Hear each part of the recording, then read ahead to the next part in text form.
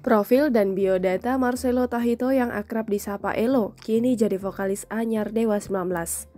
Berikut profil lengkap Marcelo Tahito atau Elo, vokalis anyar Dewa 19. Grup band legendaris Dewa 19 telah resmi punya vokalis anyar yaitu Marcelo Tahito atau lebih dikenal Elo. Hal ini diketahui lewat unggahan Elo di akun Instagram pribadinya. Elo juga menyadari bahwa dirinya tidak mampu menggantikan vokalis-vokalis Dewa 19 terdahulu, namun berharap selalu mendapat dukungan dari Bala Dewa, penggemar grup band Dewa 19.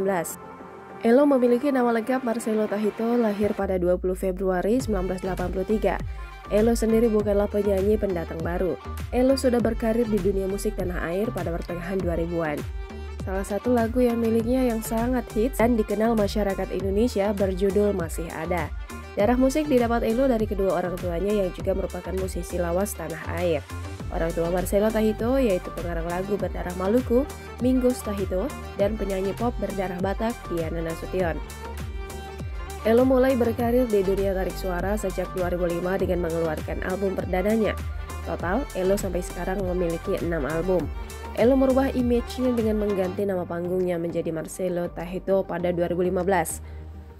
Ini menandai perubahan musiknya dari R&B ke aliran rock. Marcelo Tahito baru saja resmi mengakhiri masa lajangnya dengan menikahi wanita bernama Cindy Maria pada Selasa 25 Januari 2022 di Bali.